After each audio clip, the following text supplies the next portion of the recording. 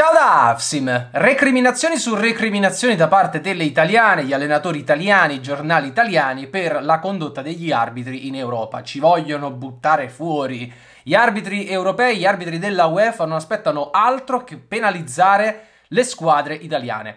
A mio avviso fa già ridere così, ma lo so che tanti invece la pensate così. Ho letto praticamente tutti i vostri commenti, in particolare al mio post partita sull'Atalanta contro il Real Madrid. E ci sono stati anche quelli che in realtà hanno detto che era rosso per Freuler su Mendy. E lo hanno detto anche a ragion veduta provando a spiegare l'episodio sulla base dell'interpretazione dei regolamenti. Per me non era rosso, era giallo, ma già il fatto che se ne possa discutere decreta che non è un errore clamoroso che non dovrebbe quindi comportare uno stop, una sanzione per l'arbitro e allora dobbiamo rileggere tutta la faccenda alla luce di un'altra prospettiva e soprattutto informandoci bene su com'è la situazione a livello di designazione arbitrale in UEFA e quindi in Europa perché vi anticipo che non c'è nessuno che vuole sbattere fuori le italiane. Ne parliamo, quindi vi chiedo però di iscrivervi al canale attivando le notifiche per non perdere i prossimi video se siete interessati al mio modo di rappresentarveli ed anche in generale a questo tipo di argomenti che di tanto in tanto torneranno nella programmazione di questo canale. In che senso non c'è nessuno che ci vuole buttare fuori e perché fa già ridere così?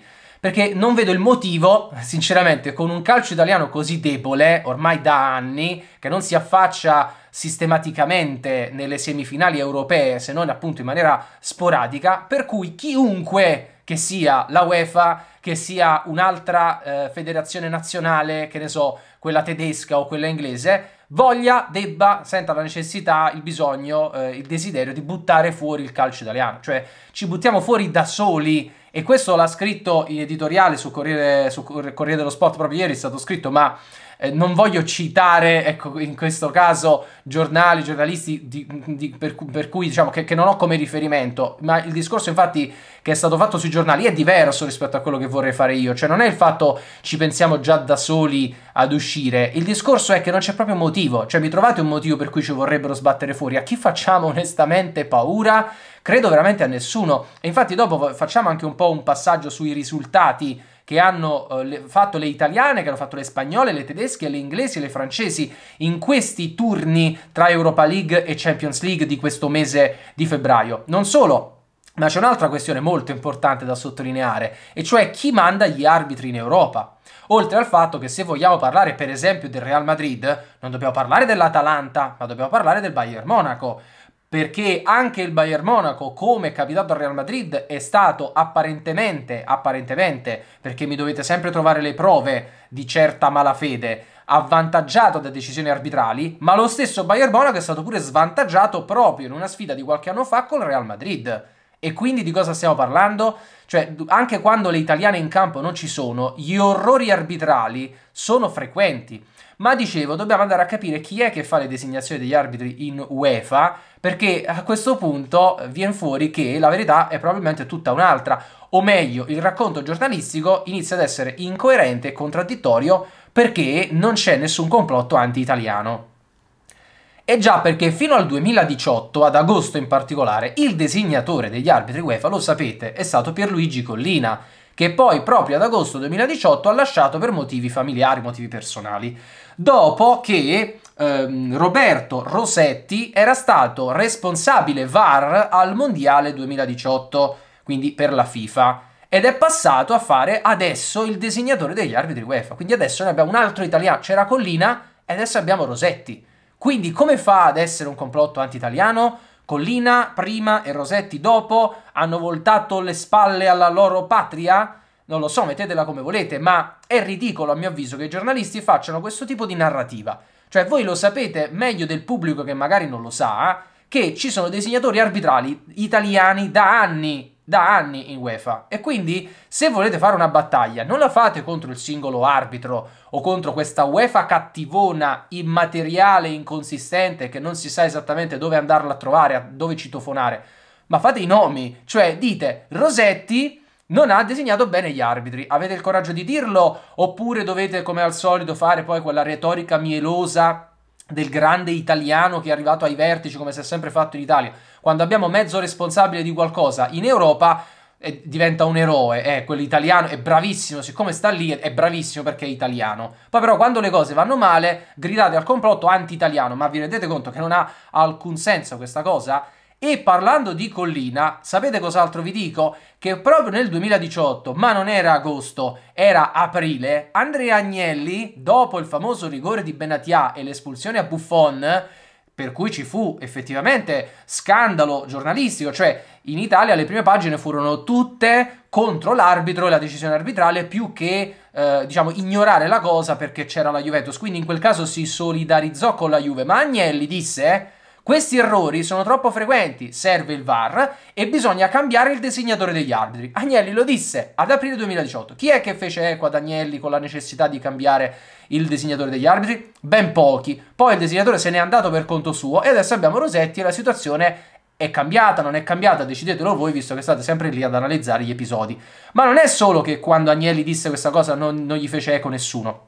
Anche in tanti altri casi, per esempio, dopo la partita di andata contro quel Real Madrid, che mancò un rigore su quadrato eh, negli istanti finali, nei secondi finali, sul punteggio di 3-0, voi ricordate copertine di scandalo, prime pagine sulla decisione? No! Le prime pagine, ve lo dico perché lo sono andato a recuperare, erano tutte per la rovesciata di Ronaldo. E per carità, ci mancherebbe. Uno dei gol più belli della storia del calcio lo celebri in prima pagina. Però, siccome ogni volta che un'altra italiana subisce un presunto torto parte la filippica, parte la, la, la tutela eh, gratuita sui giornali, in quel caso non fu fatto e c'era un rigore grosso come una casa sul quadrato che avrebbe potuto cambiare le sorti della qualificazione perché un conto è perdere 3-0 in casa all'andata e un conto è perdere 3-1 e nessuno sostanzialmente ne andò a parlare. Ma perché del rigore su Ronaldo contro il Porto in questo mese di febbraio qualcuno ne ha parlato nelle prime pagine? Pochissimi, se ne è parlato pochissimo di questo rigore. E invece di questa espulsione che sicuramente non c'era, sono stato il primo a dirlo, a Freuler si è parlato e se ne sta ancora parlando. E si dà anche alibi agli allenatori, si danno alibi agli allenatori perché poi io devo sentire Gattuso che per carità se la prende con De Laurentiis è più un modo per attaccare ancora una volta la presidenza che non per lamentarsi con la UEFA, lamentarsi addirittura perché il Granada, signori, il Granada perdeva tempo cioè un'italiana, una squadra italiana, un allenatore italiano che va davanti ai microfoni in un contesto UEFA a dire eh ma l'avversario perdeva continuamente tempo, butta... Io non l'ho vista la partita, do per buono quello che dice Gattuso, può darsi che siano stati veramente odiosi nelle perdite di tempo, ho capito ma c'è un arbitro in campo, tu stai lì in campo, hai dei giocatori qui, a cui quindi puoi dare delle indicazioni per sovvertire una determinata situazione, ma poi cioè, siamo talmente deboli che dobbiamo lamentarci se l'avversario perde tempo, che è una cosa legittima, cioè è una cosa fastidiosa, ma finché l'arbitro glielo consente, è una strategia di campo, si, si può fare, si è sempre fatto. Non mi pare nulla di scandaloso, anche, soprattutto da un, da un ex giocatore e da un allenatore così viscerale come Gattuso. Non mi aspetto questo tipo di lamentela molto formalistica. E siamo ridotti a questo, vedete, a lamentarci continuamente, noi italiani, e a, a subire, a pensare un complotto che sta solo nelle nostre teste e all'interno del nostro territorio nazionale. Se uscite fuori, nessuno se ne accorge che le italiane sono state, eh, sono state eh, messe diciamo, in difficoltà e sono state, eh, se si è tentato di, di mandarle fuori, sono state svantaggiate gli errori arbitrali in UEFA, cioè in campo in realtà, nel calcio e anche nella UEFA, ci sono sempre stati, ma sono a favore e contro tutti. Lo so che pensate che il Real Madrid, il Bayern Monaco, può darsi, può darsi che il Real Madrid sia stato favorito in tante occasioni perché è il Real Madrid, però intanto servono delle prove per poterlo dire. E poi eh, non ci va sotto solo l'Atalanta, ci va sotto chiunque eventualmente giochi con il Real Madrid, quindi non c'è questo complotto anti-italiano, anche perché cosa hanno fatto le italiane poi in campo? Ecco, perché torniamo seriamente a parlare di calcio. Cioè, è inutile che facciamo queste recriminazioni se poi da parte nostra ci mettiamo, eh, rincariamo la dose. Perché se, se le italiane fossero perfette in Europa, nell'approccio in campo, nella mentalità, nella voglia di vincere, nel, anche nella calendarizzazione, perché se una squadra italiana pensa principalmente al campionato e poi capita la competizione europea che dà più, più fastidio che altro e se la giocano così tanto per essere eliminati, di che stiamo parlando? Ci vogliamo anche lamentare dell'arbitraggio? Sì, il rigore per la Lazio, il rigore per la Juve, l'espulsione, va bene, però se non ci mettiamo il massimo dell'impegno non avremmo meritato comunque. Io per, salvo solo l'Atalanta, perché l'Atalanta ha giocato al massimo delle proprie possibilità, considerando l'espulsione al ventesimo circa e l'infortunio di Zapata. Non era veramente possibile fare meglio e perdere 1-0 è stato anche oro da un certo punto di vista e sicuramente sarebbe stata tutt'altra partita senza l'espulsione che quindi ingiusta è stata determinante. Questo l'ho detto nel mio video post partita, però di qui a dire ce l'hanno con noi mi pare esagerato. Ma tolta l'Atalanta, come sono andate le cose? Allora, le inglesi in Champions League hanno vinto 3 su 3 Tutte e tre le inglesi hanno vinto.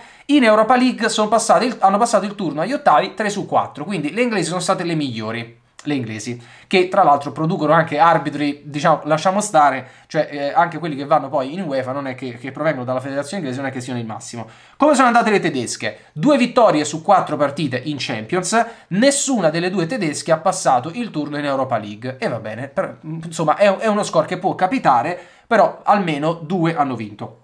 Le spagnole, una sola vittoria in Champions League su quattro partecipazioni, ma eh, due squadre su tre hanno passato il turno in Europa League. Anche in questo caso, diciamo che tra Champions ed Europa League più o meno è un bilancio equilibrato che si compensa come quello tedesco. C'è una sola francese e una sola francese tra Champions ed Europa League ed è il Paris Saint-Germain in Champions che ha vinto, quindi 1 su 1, e il Lille in Europa League che ieri è stata eliminata. Quindi anche qui bilancio sostanzialmente in equilibrio. L'Italia, 0 vittorie su 3 eh, partecipanti in Champions, visto che appunto hanno perso. Lazio, malissimo. Atalanta, in maniera sfortunata, diciamo così. La Juve perché ci è messa proprio d'impegno di fare una partitaccia. E poi due squadre su tre hanno passato il turno in Europa League. Quindi un bilancio che più o meno ci può stare, ma siamo per dire l'unica squadra non l'unica squadra, l'unica eh, nazione che in Champions non ha vinto neanche una partita. L'unica che non ha vinto neanche una partita. Come la Spagna ne abbiamo 2 su 3 e volendo simile all'Inghilterra che ne ha 3 su 4, quindi meglio di Germania e Francia per quanto riguarda l'Europa League, però ecco, non abbiamo fatto il miglior punteggio, questo voglio dire, e non è perché ci hanno penalizzato gli arbitraggi, ma pure il Milan, no? La Roma ha passato pienamente, il Milan ha rischiato di, di non passare agli ottavi contro la Stella Rossa eh, in Europa League, il Napoli che, fa, che, che, che, perde all'andata e poi prende gol all'inizio della partita e poi dobbiamo stare qui a parlare delle perdite di tempo degli avversari, questo è il discorso. Allora, cerchiamo di migliorare come movimento calcistico invece di fare continue recriminazioni. Le recriminazioni andiamo a farle, se del caso, una volta che abbiamo dato il 150% in campo, già con l'atteggiamento iniziale di essere la, una squadra che vuole vincere, mettendoci un calcio proattivo, un calcio propositivo, senza quella paura di prendere gol, senza quel timore dell'avversario. E poi, una volta che abbiamo fatto questo, se ci capita l'episodio a sfavore, possiamo anche fare tutte le campagne giornalistiche che volete per dire che l'Italia è penalizzata, perché ci vogliono buttare fuori non si sa perché. Fino a quel momento cerchiamo di dare il massimo perché ancora non lo stiamo dando e se ci sono dei risultati negativi in Europa per le squadre italiane è solo colpa delle squadre italiane e del movimento calcistico che non si impegna abbastanza nelle competizioni europee, non, fa, non fa abbastanza investimenti sulle rose e in particolare sui giovani. Grazie per la vostra attenzione e per la vostra opinione nei commenti. Sono stato un po' duro, diciamo, di parte, molto di parte, cioè questa è la mia opinione, so che non sarete d'accordo tutti, ma appunto discutiamone. Like al video se vi è piaciuto e iscrivetevi al canale attivando le notifiche per i prossimi contenuti. Ci vediamo molto presto e sempre forza Juve!